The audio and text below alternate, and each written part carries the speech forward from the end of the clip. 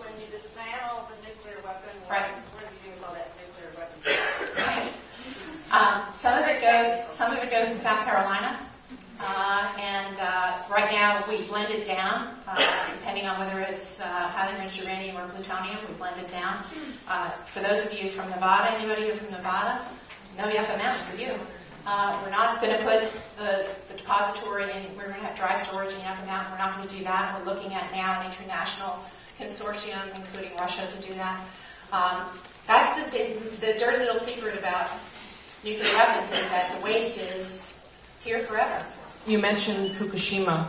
Uh, slightly off topic, but a concern, a great concern. I saw a video a few weeks ago uh, showing people, women, children in Fukushima saying, We're not adequately protected. There's too much radiation here. We want our government to get us out of here.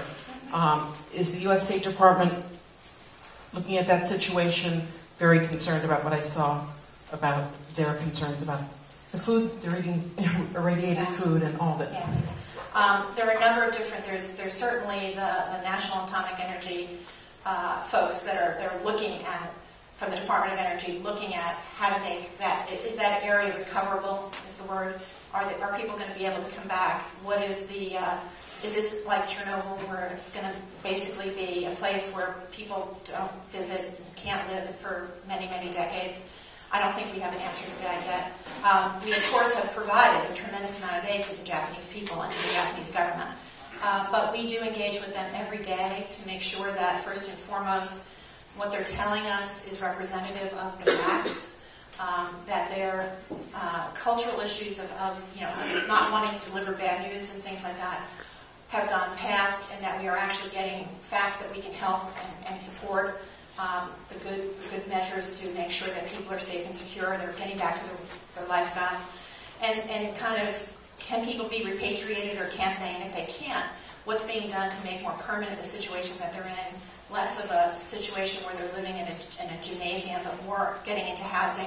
Um, First of all, could you briefly touch on the points of the opposition uh, to the Comprehensive Test Ban Treaty? And then, What they said in 1999 was that we don't know enough about the stockpile, and we don't know enough about what might happen, uh, and that there are people that say that the only way we will know it is if we blow it up in the South Pacific or in Nevada. And in the intervening time, we have found out that that's not true. We found out that we have a thousand tests, we have a tremendous amount of data, but we can simulate tests using lasers and, and very fast computers. Uh, that gives us a sense for what, what's happening.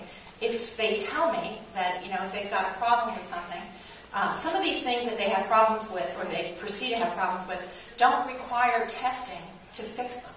Tensile strength, you don't have to blow something up to figure out how strong it is, you can just kind of pull. Um, the half-life of plutonium, somebody else did that study five years ago and found out that we were enormously conservative in the 50s and 60s when we were building these weapons, and actually it's three or four times the number that we thought it was. So we can extend the life of plutonium way, way out to the future. Uh, the volatility of different things like tritium, and those are things that are done in labs with people with white coats on and they we do everything to protect them and make them safe. But the truth is that you don't need to blow something up to find that out. The only thing you need to blow something up usually to find out is if it goes bang. We know the weapons are safe. Every year, the lab directors, the head of the National Nuclear Security Administration, and the President of the United States say that they're safe. Every the next day, they start to look to make sure that the pre- previous 365 days' work is still the position that we're in, that they're safe and reliable and effective, and that we can use them if we choose. Uh, we want people to understand that this president has made clear that we will only have nuclear weapons for as long as other states do, and as long as they are required uh, for our security. And our ambition is to get rid of them. Those conditions don't exist right now. We're, we're going to be making the public case. We have this National Academies of Science study. I previewed it. It, it makes a very strong scientific, scientific-based case that we don't need to test, that there is a tremendous amount of investment in other alternatives uh, to find out if we have a safe and reliable and effective stockpile without going boom someplace. Uh, and that we are anxious to do that. And, you know, if you got five smart people in a room and said to them, what about the Comprehensive Test Ban Treaty? and what about the United States that we can still test nuclear weapons, they'd say, you're nuts. We're, we don't test nuclear weapons. Because of course we don't. We haven't for 20 years. But we haven't gone that extra step to get the benefits of an international treaty so that we can hold people that are willing to test accountable. So we're living under the treaty without the benefits of the treaty. That sounds crazy to me because every day that we don't test, that every day that we don't test, that we don't ratify the treaty, is, the, is a day that somebody else can. And shame on us to have the ability to hold them accountable within our grasp, but to have politics get in the way. Talking about the UN, and this may be not as a pressing issue, but um, I should say but again, but um, as far as nuclear power, um, Republicans in Washington state call it the clean energy. I don't. And especially uh, looking at the worldwide, I believe um, Europe has a higher standard than U.S., and U.S. has a higher standard than uh, China. And as we know, China is looking for cheap fuel anywhere and everywhere. At some point, will we be able to ask China to increase their safety lev- levels, even if it may not be right at the, the Pacific Ocean? That's a very, very good question. You know, I, I thought we were having a nuclear power renaissance in the United States until Fukushima happened. You know, if you, if you look at um, environmental uh, optimism, you know, how do we keep our air clean? How do we keep our water clean? How do we provide uh, cheap electricity for ourselves? How do we keep jobs? Do all those things that we know we have to do all at the same time. Um, obviously, we need a blended solution, and I believe that civilian nuclear power is a blended solution.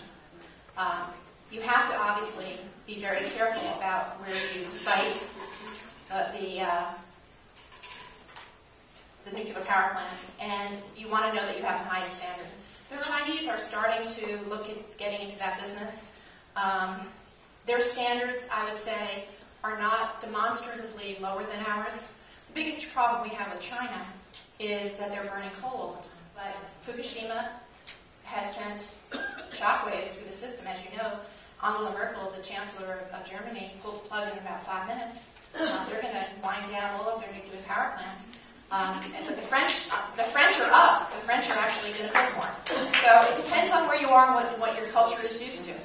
Uh, but for us, I think that there's a long way to go for the American people to embrace nuclear power, uh, especially in the short term. But um, I think it is a component of uh, many other elements that get us to cleaner air, cleaner water, and less expensive uh, sources of power that are, uh, you know, not from the Middle East.